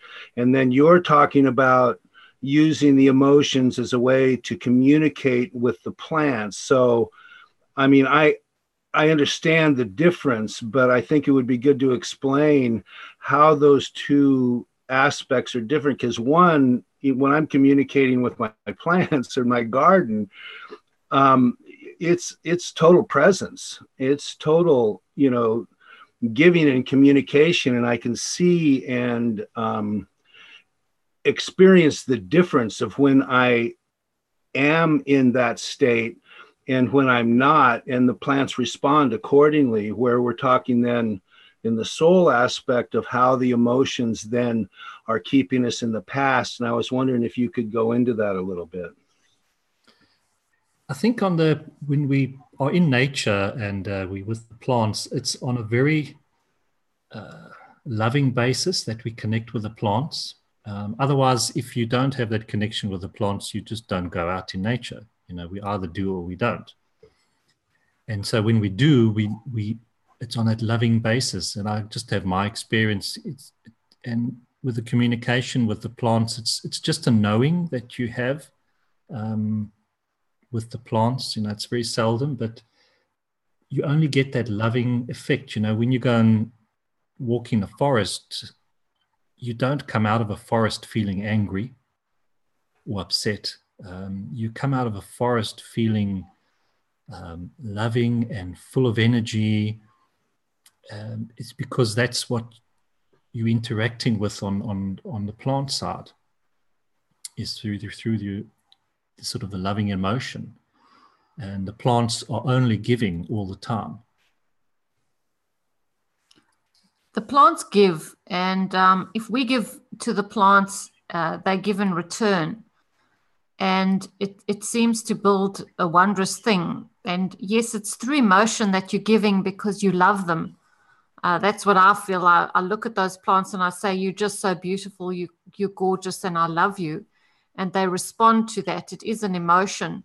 When we talk about the emotions that are blocking, and that's history, these are the negative things the negative consequences of our perception of of reality and when things haven't gone our way and this is where the unconditional comes part comes because the negative emotions come from certain conditions not being met um, you know we expect something and then it doesn't happen. We expect love from our parents and we don't get it or we expect to be able to do something and we can't achieve it and it gives us frustration or or, or anger or anxiety. So all these negative things are what what creates the filter, but the positiveness is is what's radiating from our soul. And yes, it's still an emotion, um, and we can call it an emotion, but it's coming from our soul, and it's and it's the giving aspect and the loving aspect, and that is what connects us to the plants, and they just thrive on that, and um, they give us back. It's incredible how they just give back to us. Um, they they are wonderful, wonderful creatures in that regard. But it's not only the plants though, it's the rocks, it's the it's the beauty of the environment that you're in at the moment. So if you yeah. take a moment and uh, and enjoy the beauty no matter where you are because you can see the beauty in the tundra of the of the far north or in the mountains in New Zealand right? It's the it's you can feel the the beauty there of the environment. Sometimes we connect on a on, on a diff, you know certain levels because I've found it hard to sometimes find the beauty here in Australia when I've been used to a different African, um, you know, beauty because Australia is very harsh and the environment is very different and the colors are different and the feel is different. But yes, everything has got its own beauty if you can connect to the fields because everything is a field strength. And so it's just a case of of of understanding that aspect and and seeing the beauty in everything around us. I know exactly what you mean because uh, I'm from British Columbia, so a lot of mountains, and I always feel myself wanting to go back to those mountains. And unfortunately, I'm not. I mean, I'm not that cl- that uh, far, but I'm not that close either. So I have to find the beauty of where I am, and uh, it is a matter of attuning yourself to that environment to to be able to see that beauty yeah, just connection with those right fields.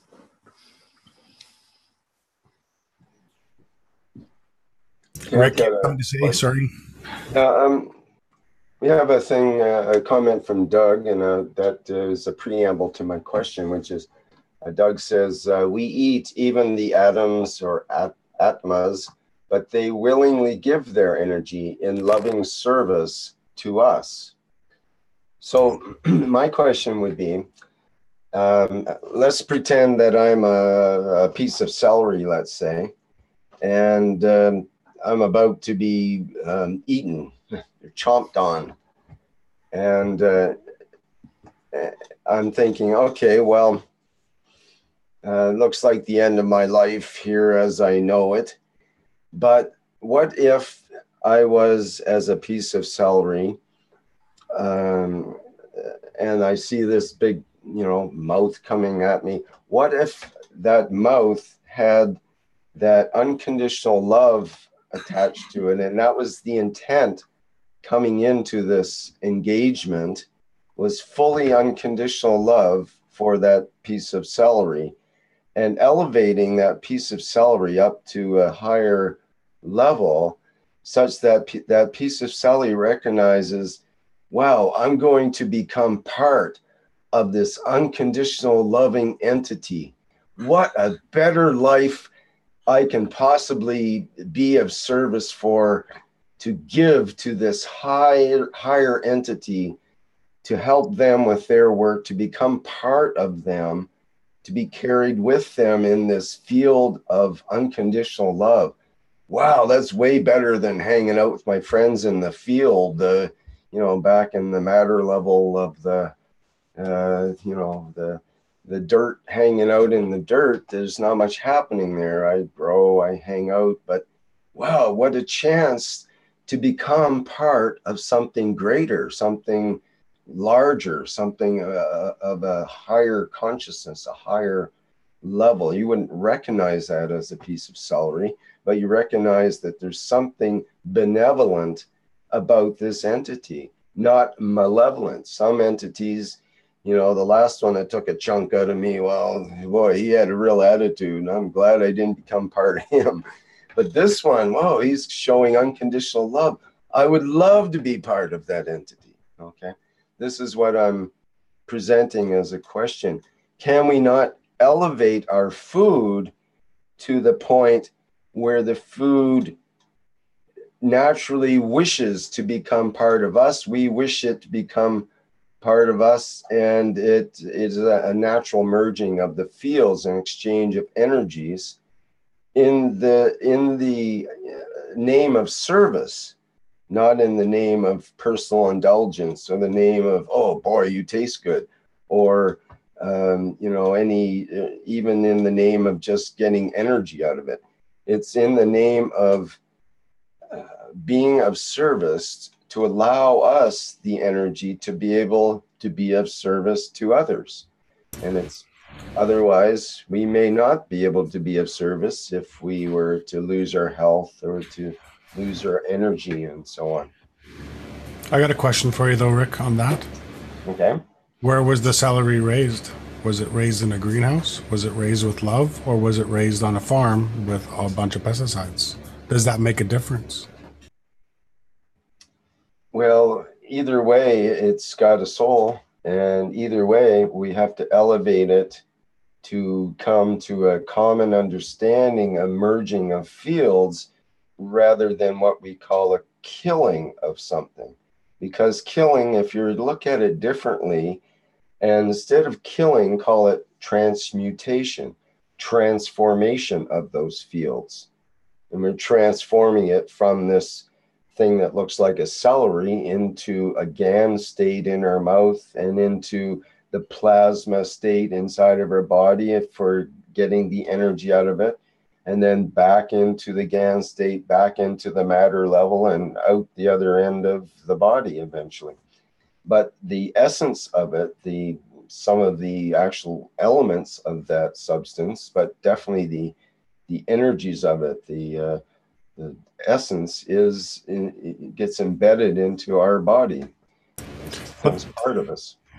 That that becomes a, a, a symbiotic relationship again because some plants uh, take a, a, strawberry, for example, um, they want to be eaten. That is the fruit um, to be eaten, so that they're able to uh, to spread and uh, and continue being strawberries for the rest of the world.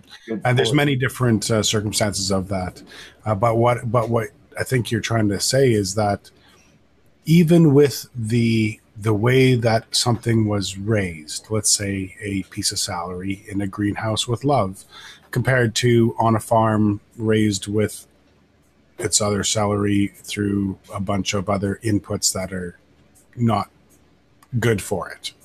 Um, if by elevating it before you ingest it, would that make a difference? Would that bring that celery to the point of my life is worth it anyways? I think so. I think so. It's in that sense, it doesn't matter how the celery was raised in a way, uh, but that that energy will become part of us either way. But for the benefit of the celery, we can, and for the benefit of the relationship, the karma between this um, fruit or vegetable and and ourselves, we have to make the we have to make the energies um, equal and make them equal to us. In other words, make make it all us in a way, uh, uh, because everything is um, from the point of view of the soul and other souls. All souls are souls. All center uh, principality energy and occurring all in that moment and so on. So uh, if we can uh, see eye to eye with the celery, basically, and just uh, assimilate it, we are assimilating then rather rather than killing. There's no killing in that instance. It's an assimilation of energies. It's a transmutation of energies. But haven't we been taught to pray for what we eat since we were all children, basically? Yeah, we usually try to get through the prayer part, prayer part really quick and get that over with, so we can go chopping on the food. Generally speaking, right. So the the essence of that statement was lost. Right. Well, this is the thing because it's it's not um, taught in a, a, scientific manner or anything. It's taught as something that the church tells you to do or someone tells you to do in order to uh, be thankful because you have food and people in Africa don't is one of the stories and that kind of thing. It's more of a, a, a gratitude thing, a general gratitude thing, rather than a specific bringing the food to life exercise, which might be uh, more beneficial in that moment to, you know, be equal with the fields, to get into the fields rather than into some psychology about it or some uh, uh, guilt trip or something that often is the case with that uh, that prayer around the meal is a lot of stress for many people.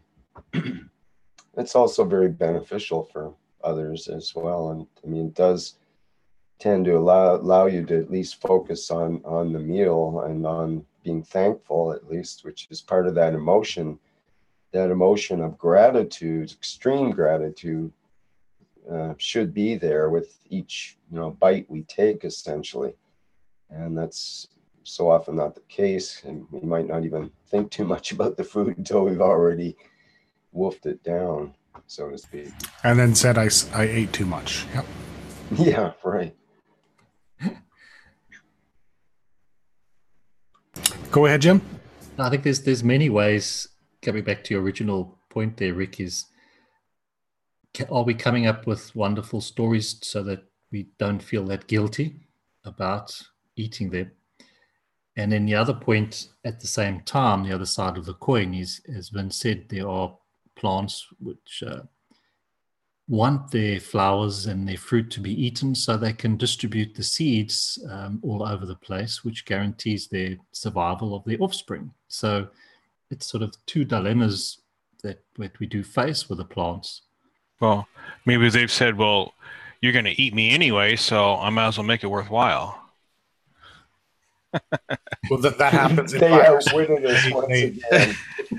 that actually does happen in viruses where they, they create a certain circumstance or a certain environment in their host, which then turns into another um, uh, aspect of its life, which turns into something else eating it, which turns into something else eating, and this and the chain starts all over again, and that's how it guarantees its survival.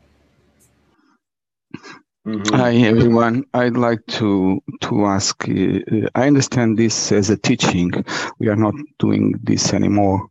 Maybe it's good you come to the teaching part because when we go and translate this to other language, uh, this is more like a debate, and it's. I think it's lost this the mean. Uh, don't you agree? Perhaps we got too far afield, mean. Okay. Yeah, Thanks. we've uh, gone away from maybe the uh, essence of this teaching here. So, right. Any yeah. other questions, and we can call it a day? Yeah, and that mean uh, I had the, the race hand for a long time, so I came through it. So um, I I would like that uh, because you talk here about all creatures have a soul, and someone else already talked about it, the mineral world also, and you can give this understanding because we, we talk about it. This is all uh, magnetic fields uh, that we express through uh, and make physicality. Uh, and there's different uh, uh, experience of um, understanding and souls. so if you and if you can so talk about this that uh, even uh, atom has a soul. So uh, the heart has a soul. So we belong. We are all connected through the soul, and that's all. Yes, thanks. I. You are correct in that everything, even the rock and the crystal and the atom, has a soul.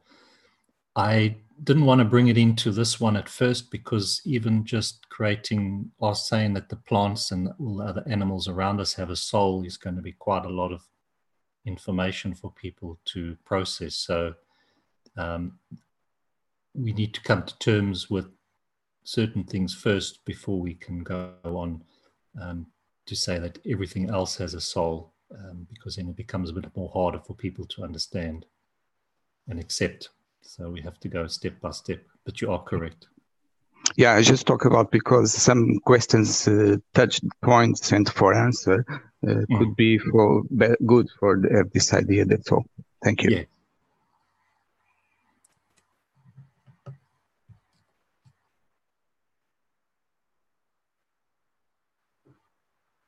Yeah, there's a lot of information to this, and we're trying to um, sort of bring it out on a very uh, slow, methodical process so that people can digest bits of information and then we can move on and build on it in, in the later uh, parts of these workshops. So, and, and we do realize that there's a lot of private students that have been around the foundation for a long time, and so they do have a lot more knowledge.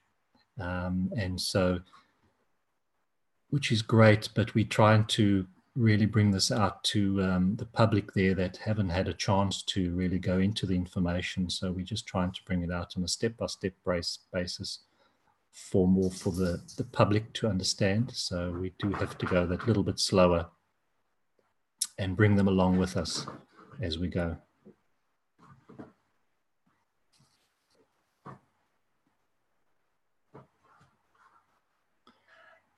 Any other questions?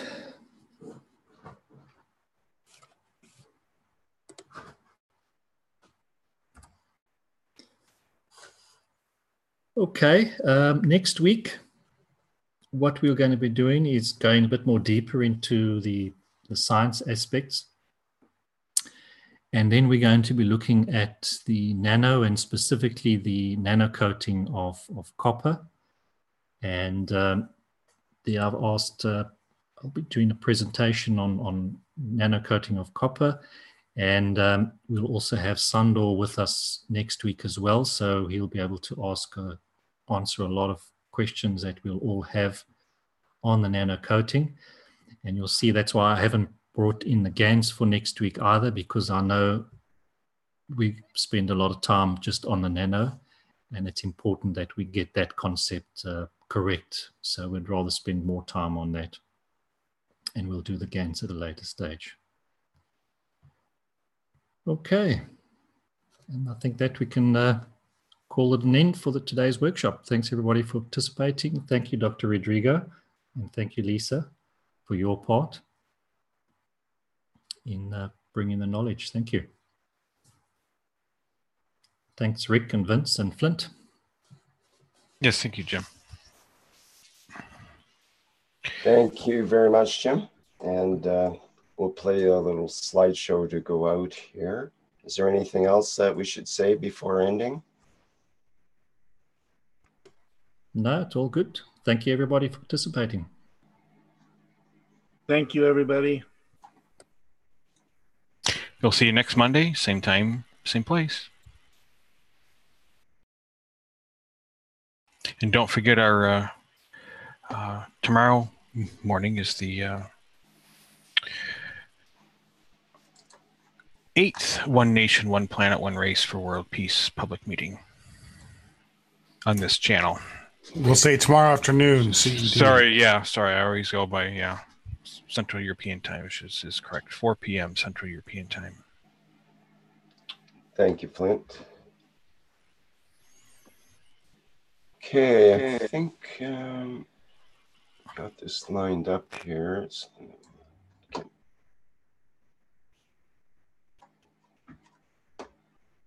okay, thank you everybody for attending the Understanding Plasma Science Part 2 of the 12 part series for Monday, October 2nd, 2015. And we'll end the uh, meeting now with some music and slideshow.